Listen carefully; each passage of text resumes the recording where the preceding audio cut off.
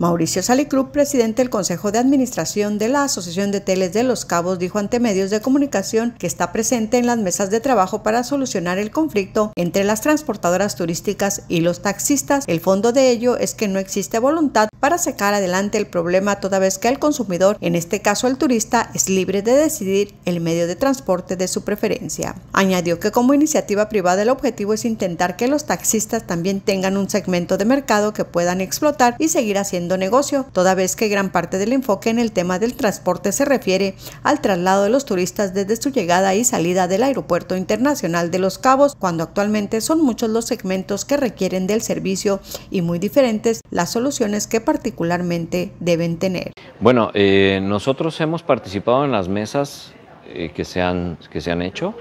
Eh, yo mi participación como representante del gremio y, como lo hemos mencionado siempre, es un acuerdo de voluntades y lo que ha estado ausente es precisamente el tener la buena voluntad de que existan acuerdos.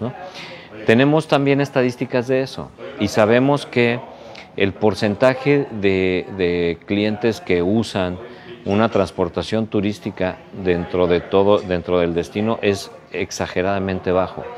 La competencia del turismo entre taxistas y, este, entre los taxistas y los, transportistas e, es, austera porque no, es ahí donde está el problema.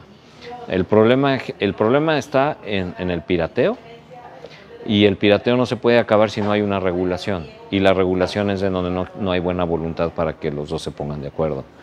Y por una parte. Y por otra parte, el tema de la baja de, de clientes que toman taxi también tiene que ver con el dinamismo que les hablaba hace un momento.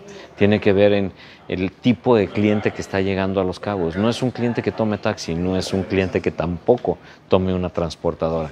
Entonces ven bajas en sus números, pero no se dan cuenta que es por el tipo de cliente que estamos recibiendo. Finalmente, Pérez Club manifestó que la oferta y la demanda ha cambiado y ha variado y el tema no es como si se quisiera tapar el sol con un dedo o desaparecerlos del mapa. Mientras exista la demanda y la libertad de tránsito de la gente, va a seguir alguien llamándolos, ya sea a los taxistas o a las transportadoras turísticas.